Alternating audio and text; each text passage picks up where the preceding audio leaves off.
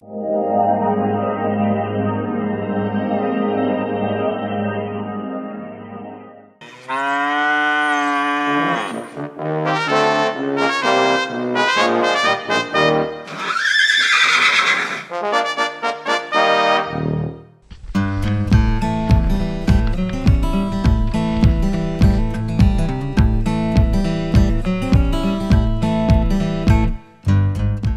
eens, vandaag sta ik voor het programma Bedrijf in Beeld in Noordeinde. Voor de veehouderij van de familie Korenberg. We gaan even naar binnen om te kijken naar het rijlen en zeilen in zo'n veehouderij. Goedemiddag. Goedemiddag, welkom. Ja, Nia van de Bossen Local. TV. Ik ben hier aan de Zomerdijk. Eh, wij hebben hier samen met de vrouw en mijn zoon een boerderij, een melkveebedrijf.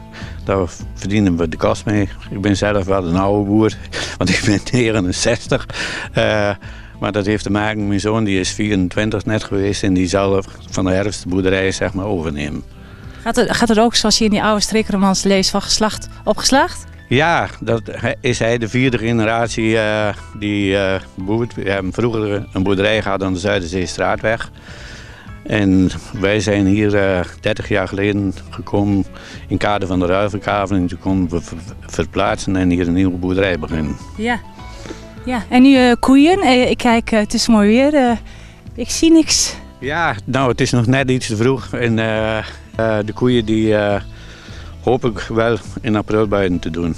Ja. Ik ben echt een liefhebber van koeien, koeien in de wei. ja, we staan hier nu binnen en ik kom binnen en ik denk... hé, hey, meneer de boer die doet ook aan darten. Nee, dit is geen dartbord, maar dit is een koekalender. Een, Koekalender. een koekalender. En wat houdt een koekalender in? Een koekalender is, eh, nou, het is vandaag eh, geloof ik 12 eh, maart. Ja.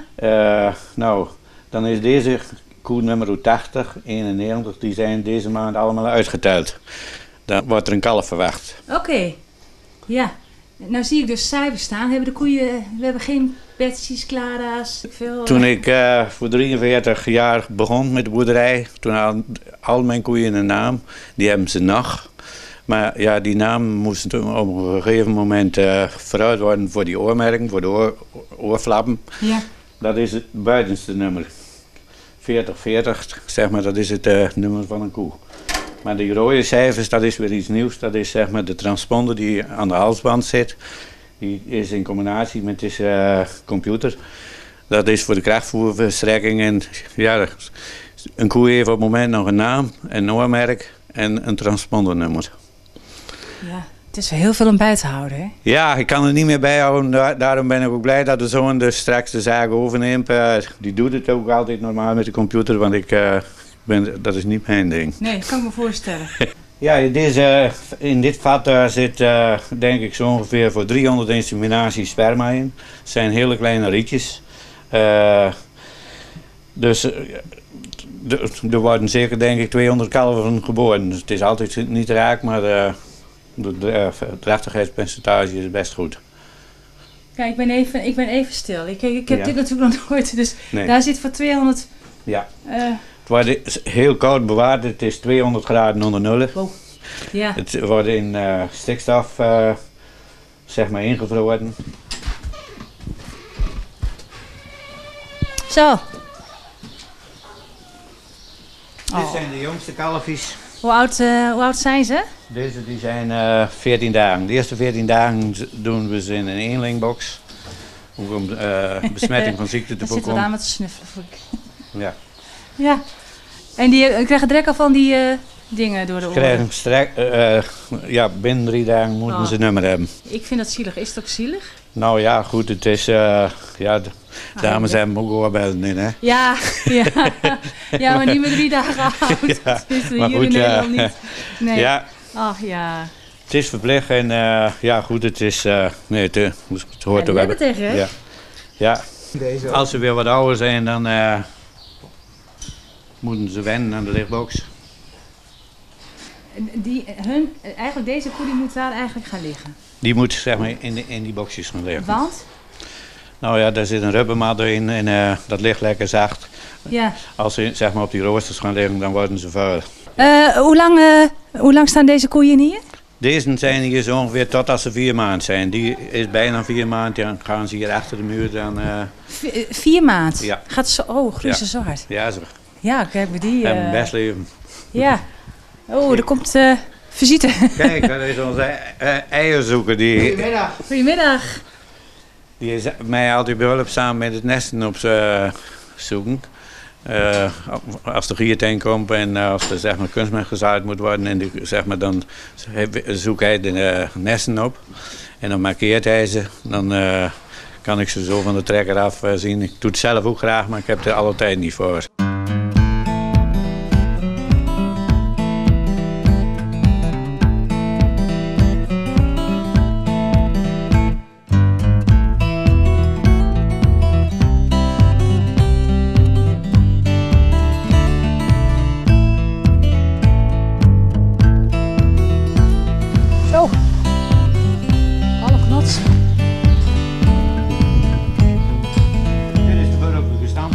De burgerlijke stand van de koeien. dat wordt alles... Uh... Ja, de koeien die, uh, als er een kalfje geboren wordt, uh, wordt moet ik direct onmiddellijk doorgeven aan INR voor de registratie. Het is allemaal stamboekvee, maar dat is voor, nou ja, ook voor niet-stamboekvee. Hij heeft vetje 1006. Dus, dat is de naam van de koe? Dat is de naam van de koe. Vetje, ja. die hebben we nog niet gehoord. Dit is het oor, oormerknummer. Ja. En dit is het transpondernummer, zeg maar, wat hij zeg maar, aan de halsband heeft. Ja.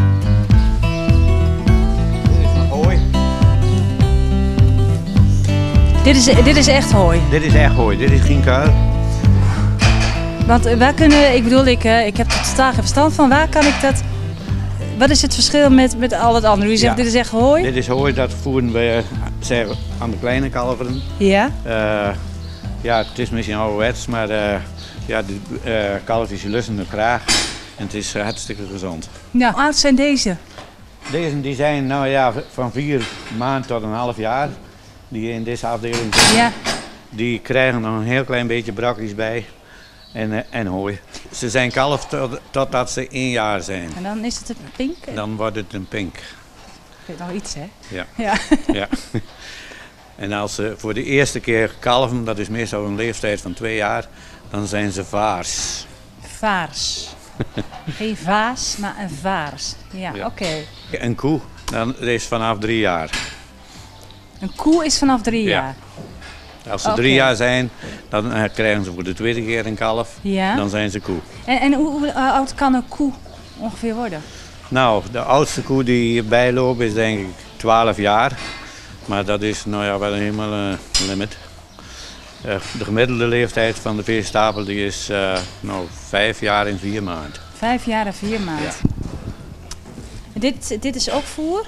Ja, dit is kuil. Dat is, eh, nou ja, dagskuil. Het is gras, s ochtends gemaaid, s'avonds andere gehaakseld aan de kuil. En dat is gemengd met eh snijmais. Dit zijn heel wat grotere, Ja. ja jongens kunnen niet zeggen, vrouwen, dames. Ja, deze dames hier lopen er 80 achter de melkstal. Die eh, moeten vanavond gemolken worden. Ik zie daar een soort eh koeienwasstraat. wat, wat, eh, wat moet dat oh nee, dat is een, een dat weten we.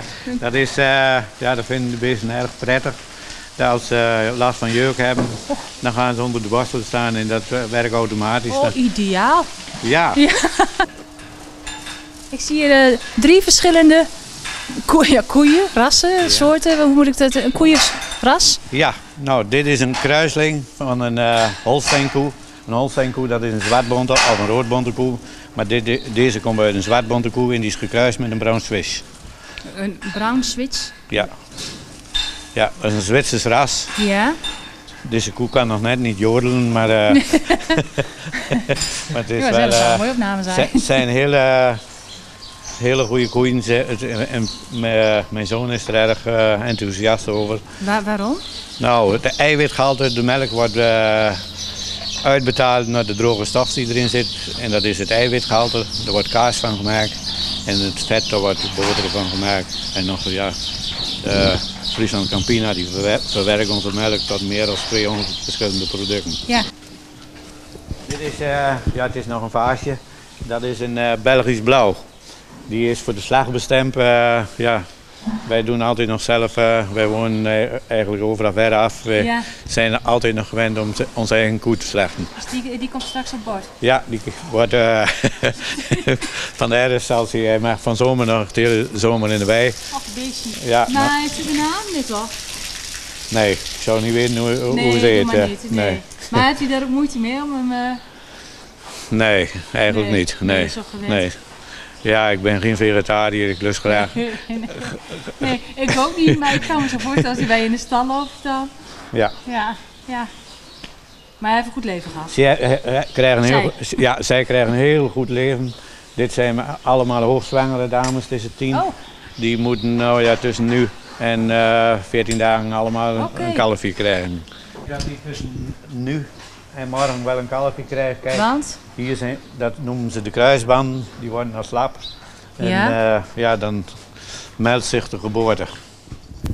Ja, wat ik zeg, dan ga ik er mooi naast zitten. Dat, dat... Ja, de eerste keer dat ik in zo'n ding... Wacht even, er zit nog een bijrijderszitting. Oh jee, houdt hem wel? Ja, zeker. De deur ook dicht of... eh? Ja, doe er maar. Ha, doei!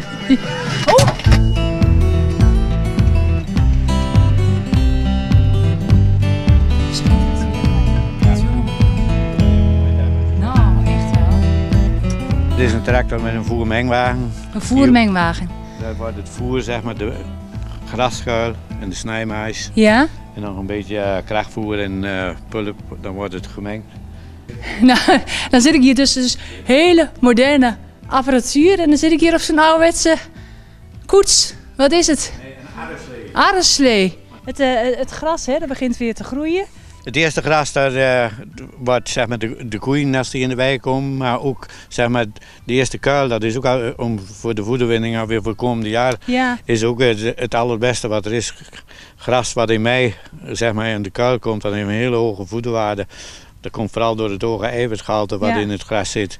En, eh, en daar geven de koeien heel veel melk van. Dus hier nog even mee wachten. Even wachten tot mij. Ja, nou goed, als dit weer blijft, dan eh, denk ik dat ik ze binnen 14 dagen wel Wel overdag het bij. eh, Ja, aprilgras. ja. dan eh, komt dan de aprilgras. Ja. Ja, een uitzicht hier. Ja. hè? Ja, Is ja, dit helemaal... ja, vier kilometer verder, daar is het Noordeinde.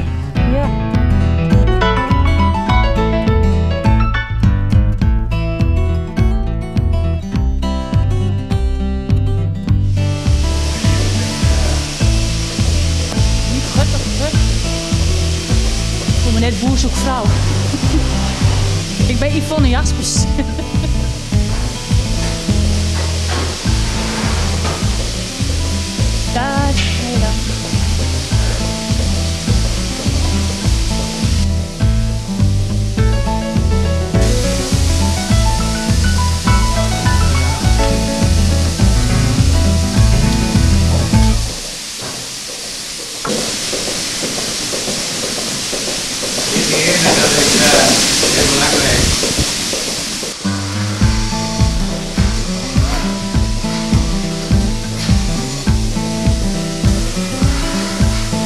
Want hoe lang doet u hierover uit- voordat alle koeien eh, gemolken zijn? Anderhalf uur. Anderhalf uur.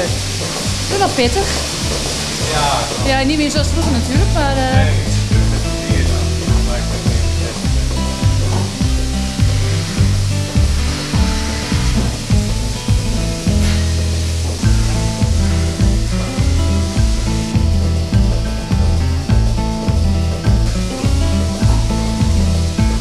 is, gaat het straks in één keer vol of, of hoe... eh, Ja, dat eh, wordt vanzelf weggevonden. ja, oh, dat wordt vanzelf weggevonden? Ja. Oké. Ik ga met eerst even op, dan kan ik zien hoeveel te geven. Ja? En eh, als ze uit zijn, weet, dan doe je deze kraan open. Dan gaat de pomp automatisch lopen. Dan komt het in de koeltank. Ja? En als ik de melk klaar ben, dan is nou de melk al op temperatuur van 3 graden. Oké.